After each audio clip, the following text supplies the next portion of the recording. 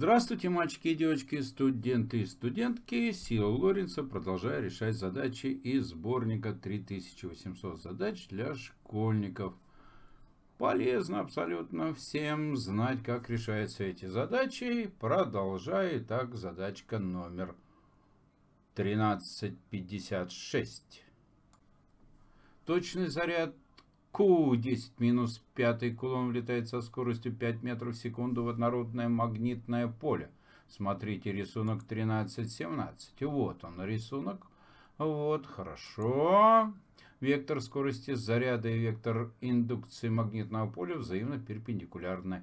Найти величину и направление силы, действующей на заряд индукция магнитного поля B 2, 2 Теслы. Ну все. Значит что? Вот рисуем чертеж и записываем условия задачи. Вот еще раз предлагаю посмотреть на этот самый чертеж. Сейчас я его нарисую вместе с условием задачи, как я и сказал. Вот так вот. Все нарисовано. Ну, задачка элементарно простая. Вот если мы знаем, как подсчитывается сила Лоренца. Сила Лоренца это всегда QVB. QVB и синус угла альфа. Вот. Ну, поскольку было сказано, что этот положительный заряд улетел перпендикулярно линиям э, индукции магнитного поля, это означает, что угол альфа равен 90 градусов, а синус 90 градусов, он равен единице. Все. Поэтому у нас просто сила Лоренца будет QVB. Ну, хорошо, подставить численное значение это можно. А как понять, что же здесь происходит? Вот. Понять это можно следующим образом. Вот линии магнитного поля B здесь крестиком обозначено.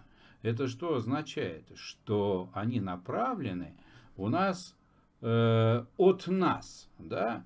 Ну, как бы вот в эту самую плоскость влетает. А можно и по-другому представить.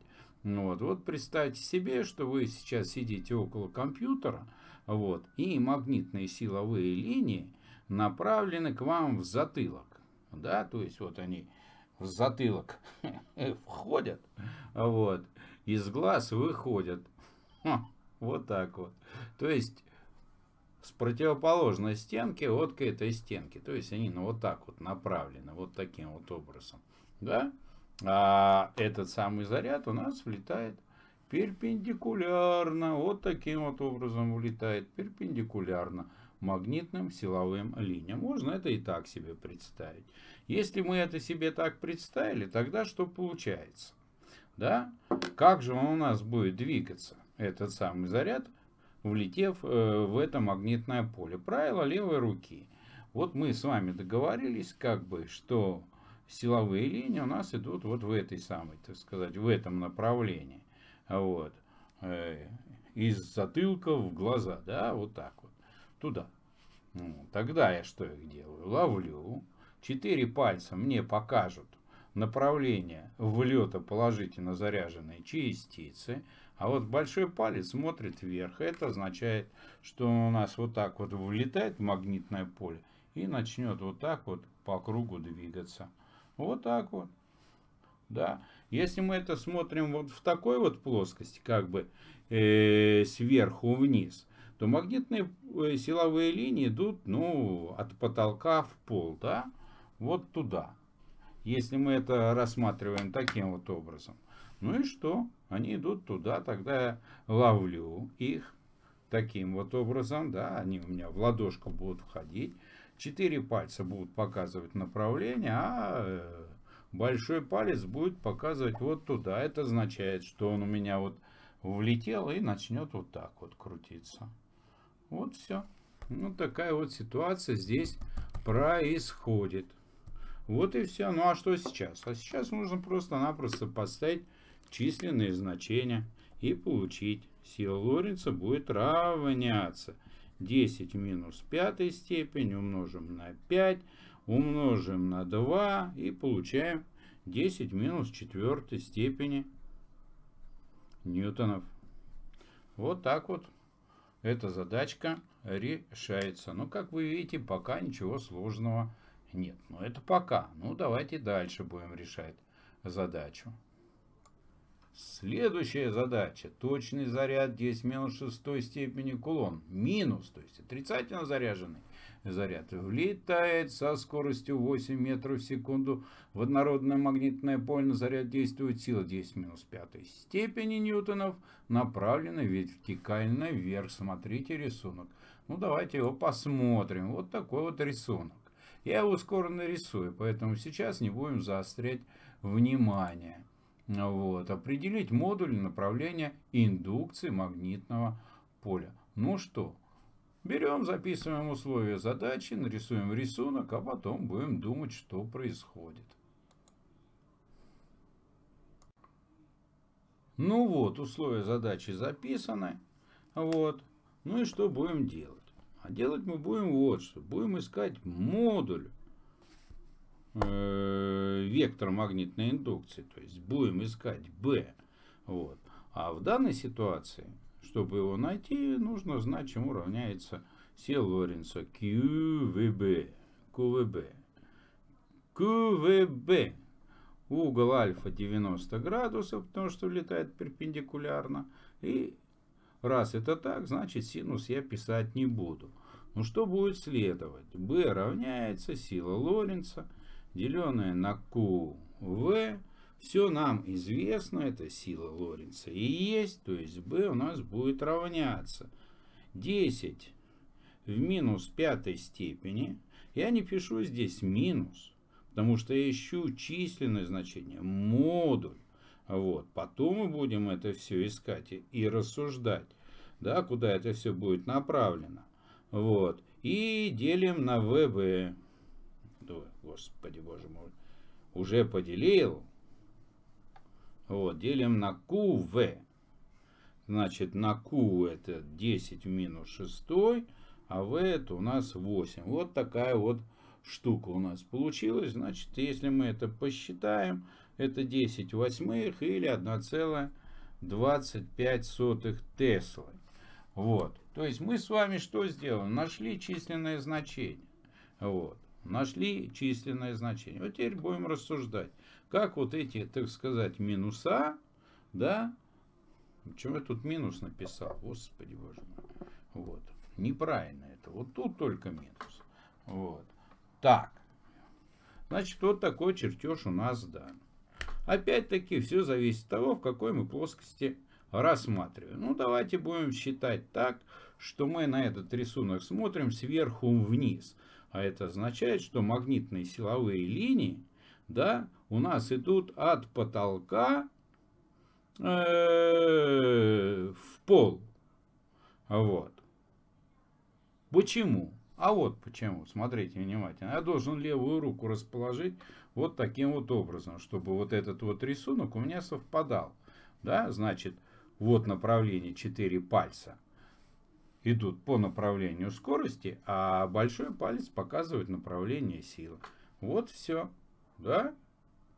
Тогда я могу сказать, что направление магнитных силовых линий сверху вниз. Ну ничего подобного.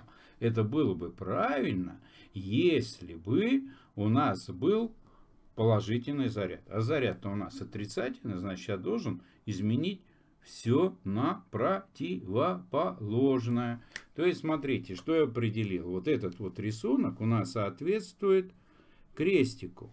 Что означает крестику? Что магнитные силовые линии попадают в ладонь. Но поскольку заряд у нас отрицательный, я должен сменить вот это вот на противоположный. То есть они идут к нам. Вот так вот, вот стрела. Если мы так вот сверху вниз смотрим, значит стрела нам в глаз попадет. Вот так вот идут магнитные силовые линии. Вот так вот. Никуда не денешься. То есть в полу как будто бы у нас да, для отрицательно заряженного частицы да, находится север, а там юг. Ну, забивать себе этим в голову, как говорится, не надо. Вот. Мы уже с вами нашли направление э, линий магнитной индукции. Вот все. Значит, линии магнитной индукции. Правильный ответ вот какой. К нам. Идите к нам. На нас. Вот так вот. Ну давайте еще одну задачку решим. Точечный заряд 2 на 10 минус 5 степени кулон, положительно заряженный э, заряд, влетает со скоростью 5 метров в секунду в однородное магнитное поле с индукцией 2 Тесла. Векторы скорости и магнитная индукция составляют угол 45 градусов. Смотрите рисунок. Ну давайте на этот рисунок посмотрим. Вот так вот он влетел. Отлично. Ну хорошо. Этот э, рисунок скоро нарисую. Давайте посмотрим, что нужно искать. Определить модуль и направление силы, которая будет действовать на заряд. Ну что, опять-таки записываем условия задачи. И вот этот самый рисуночек тоже нарисуем. Ну вот, я все нарисовал. И в принципе, э, как бы для тех, э, кто пытается решить эту задачу, вот. Здесь никакого труда нет, потому что сила Лоренца, а, пожалуйста, КВБ и на синус э, угла. КВБ, угол, все взяли, посчитали и с чувством глубокого удовлетворения, вот, так сказать, подставляя численные значения, получаем ответ. 2, 10 минус 5 умножить на 5 умножить на 2, умножить на синус 45, берем калькулятор и получаем 1,4 на 10 в минус 4 степени ньютонов. То есть модуль-то скорости найти, как говорится, не представляет большого труда. Но самое-то интересное заключается в том, что нужно понять, а как эта частица в магнитном поле будет двигаться. Вот, как говорится, самое интересное. В чем заключается? Давайте посмотрим. Для этого нужно опять-таки использовать левую руку. Ну, когда я говорю своим ученикам, нужно пользоваться левой рукой, ехидные улыбочки и вопросы, а правой можно. Я говорю, правой тоже можно пользоваться, только не в данной э, ситуации. Мы будем пользоваться левой рукой. Ну что, Давайте с вами посмотрим, как этой рукой э, будем э, пользоваться. Итак, смотрим. Значит, магнитные силовые линии у нас идут, ну, будем давайте так считать, как бы от потолка в пол. Тогда мы их ловим левой рукой. Вот. А скорость-то у нас направлена вот таким вот образом. Да? Поэтому я как будто бы эту скорость вот, разложу на две составляющие. Одна у нас по оси x, скажем, vx, а вот это у нас будет vy. Вот. Значит, vy в данной ситуации совершенно нам не интересно. Просто-напросто. Вот. Почему? Потому что по направлению э, магнитных силовых линий сила не действует. А вот vx, да, она перпендикулярна. Поэтому что происходит? Смотрите внимательно. Я ловлю да, положительно заряженный э, заряд. Вот. Вот таким вот образом магнитные силовые линии входят в ладонь. Четыре пальца показывают нам направление по оси X, VX.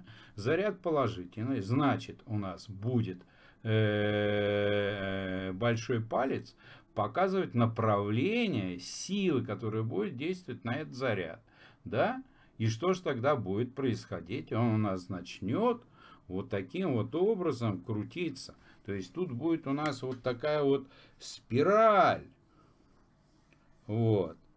Спираль вот такая вот будет. Но в принципе направление силы у нас можно обозначить вот именно вот таким вот образом. Да, вот туда вот туда, куда будет показывать большой палец. Вот все. Вот все. И эти задачи мы с вами рассмотрели. Поэтому мне остается только вас поблагодарить за то, что вы досмотрели все до конца. И надеюсь, что очень многое поняли. А все почему? Да потому что вы учите физику на моем канале, который называется «Физика это просто. Поэтому, если вы еще просто не записались на мой канал, возьмите просто нафиг и запишитесь. Буду вам очень признателен и благодарен. Ну вот, все, всем доброго, до свидания. Да, не забудьте поставить лайк. До новых встреч. Thank you.